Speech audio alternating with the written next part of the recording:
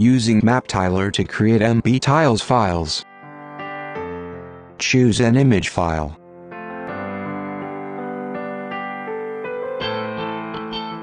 We are going to assign the coordinates visually.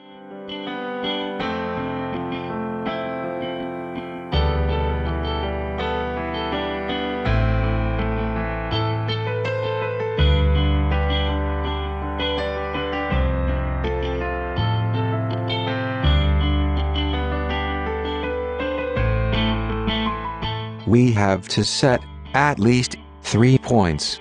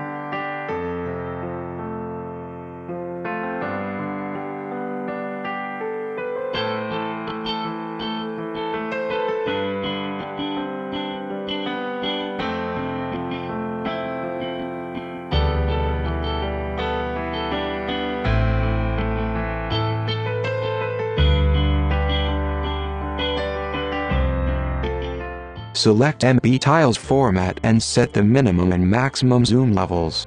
We recommend a 20 maximum zoom level to be able to use our overzoom feature.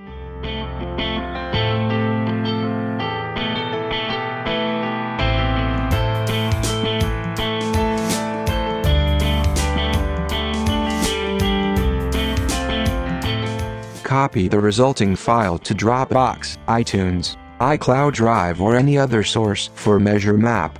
We are going to use Dropbox.